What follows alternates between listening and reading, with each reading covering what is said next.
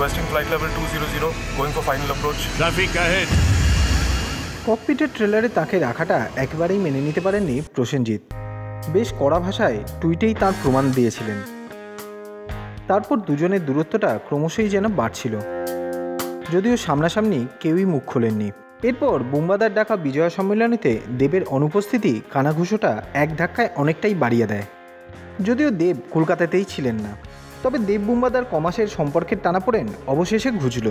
ভাইকে কাছে টেনে নিলেন প্রিয় দাদা।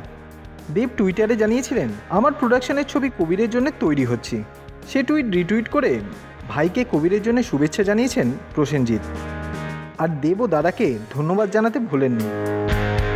এই ঘটনা আরও একবার প্রমাণ করল প্রসেনজিৎ কেন সবার প্রিয় বুম্বাদা। ভাইকে বকতে পারেন, আবার কাছেও টেনে নিতে পারেন। আর তাই তো দেব আর প্রসেনজিৎ ভক্তরা এতদিনে হাঁপ ছেড়ে বাঁচল।